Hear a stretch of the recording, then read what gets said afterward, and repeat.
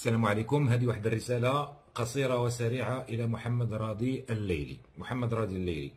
قلتها لك كتابة نعاود نقولها لك بالصوت والصورة. احفظ ما تبقى من كرامتك. احفظ ما تبقى من كرامتك. احفظ ما تبقى من كرامتك. لفظت من المغرب لأنك مخلوط لأنك ما صافيش.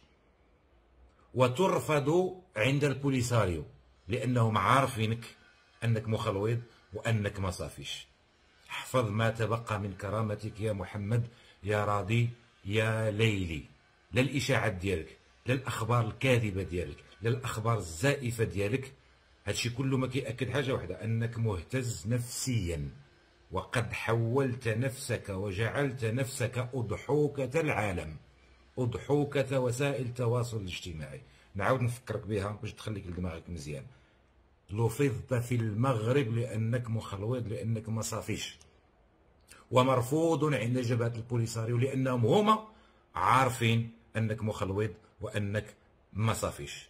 لو كنت كتبنى المبادئ ديال الانفصال منذ مدة نقولوا هذا رأيك.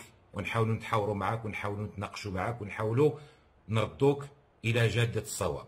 ولكن انت بسبب لفظ مهني وهما عارفين علاش وانت كذلك راك عارف الحقيقة ديال الموضوع داير فيها آه، ادعاء البطولة وادعاء المقاومة الافتراضية. وانت كتعرف في قرارات نفسك أنك كذاب كذاب كذاب. ما تكذبش علينا لأنك باين لأنك واضح لأنك مكشوف وإنما كتكذب على نفسك. وهذا إن دل على شيء فإنما يدل على أنك مهتز نفسيا. نصيحتي تعالج. نصيحتي تعالج. نصيحتي للمرة الثالثة خاصك العلاج يا محمد يا راضي يا ليلي. حولت نفسك إلى أضحوكة.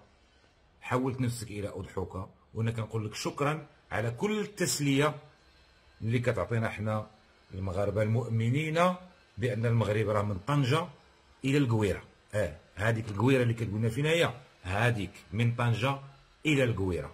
الكلام انت اللي كنتي كتقولو في التلفازة يوم كنت تتقاضى الأجر من خزينة الدولة.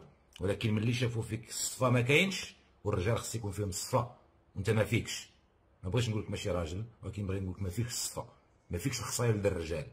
ما فيكش الخصايل ديال الرجال. نعاود نفكرك لفظت في المغرب ومرفوض عند جبهة البوليساريو. ما تبقاش أضحوكة. أعتق. أعتق راسك. أعتق راسك. أعتق راسك. تهلا في راسك.